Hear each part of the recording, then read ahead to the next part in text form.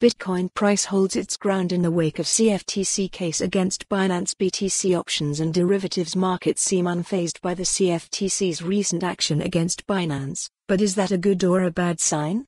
Market analysis own this piece of history collect this article as an price of Bitcoin, BTC, fell 3.6% to $26,900 after Binance and CEO Changpeng CZ Zhao were sued by the United States Commodity Futures Trading Commission, CFTC, on March 27.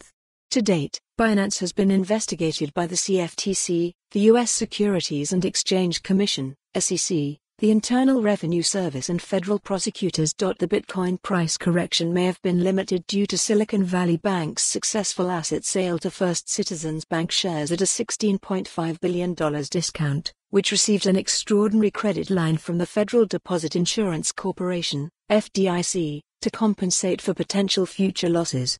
Oil prices also increased by 5% on March 27 after Russian President Vladimir Putin escalated geopolitical tensions in Europe.